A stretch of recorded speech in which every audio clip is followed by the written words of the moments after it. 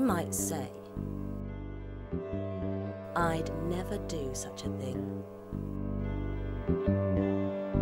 How do you know? Oh my gosh! You say, because that's not the sort of person I am.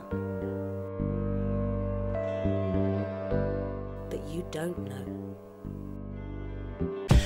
You can stop watching now, or keep watching, whatever. This is for you, Paul, my awesome new husband. I love you.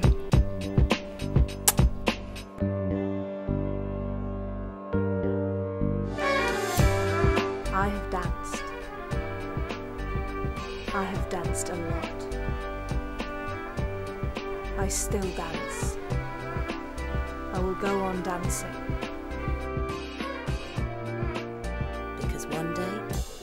you will do something. And then you'll find out what sort of person you are.